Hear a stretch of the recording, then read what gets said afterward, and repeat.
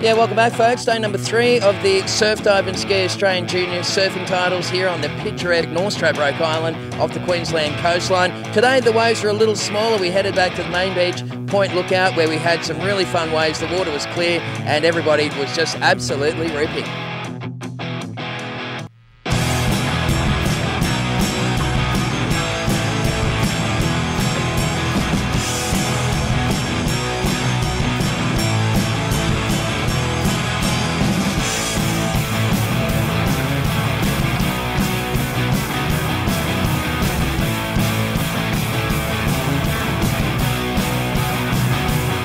Fact, the quality of the surf never detracts from the quality of the surfing, and we saw New South Wales Super Grom Jack Murray really lighting it up in the lineup.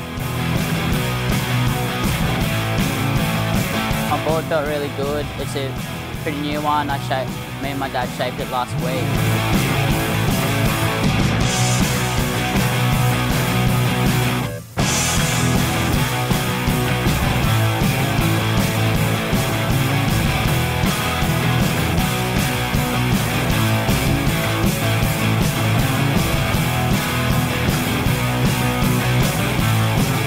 Also on fire again today was Tasmanian Lizzie Stokely, who single-handedly got her squad into the uh, next round in the MR Shield.